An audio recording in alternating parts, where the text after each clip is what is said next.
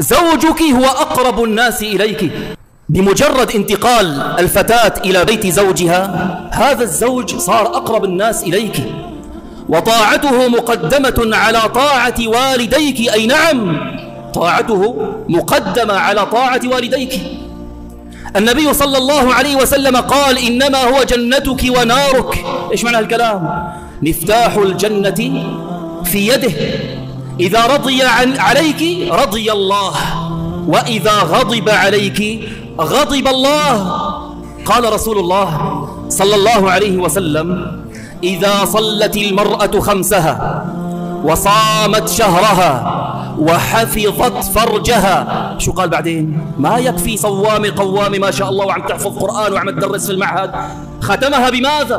قال وأطاعت زوجها. قيل لها ادخلي الجنة. من أي أبواب الجنة شئت؟ مفتاح الجنة بيده. الله تبارك وتعالى امتدح النساء الصالحات الطائعات لأزواجهن. قال سبحانه وتعالى فالصالحات قانتات أي مطيعات حافظات للغيب بما حفظ الله. تحفظ زوجها في حضرته في غيبته في ولده في ماله في عرضه. سبحان الله الرجال قوامون على النساء. هذا له خصوصية وهذه لها خصوصية. ما ينبغي للمرأة أن تتمرد على الرجل وأن ترفع صوتها. إياك احذري فإن هذا يكسر قلبه. ما ينبغي إياك والانصراف من بين يديه حتى يأذن.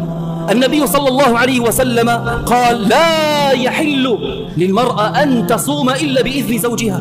أو كما قال عليه الصلاة والسلام صيام النافلة حتى الصيام. إذا قال لها لا تصومي لا تصوم. لا تدخل أحدا إلى بيته إلا بإذنه لا ترتب مواعيد مع أحد حتى ولو كانوا من الأرحام حتى لو كان أبوها وأمها. ما ترتب مع أحد إلا بإذن زوجها. قال لك لا تروحي ما بروح لا تعملي ما بعمل. إذا أمرك بمعصية لا تأتمري. لا طاعة لمخلوق في معصية الخالق.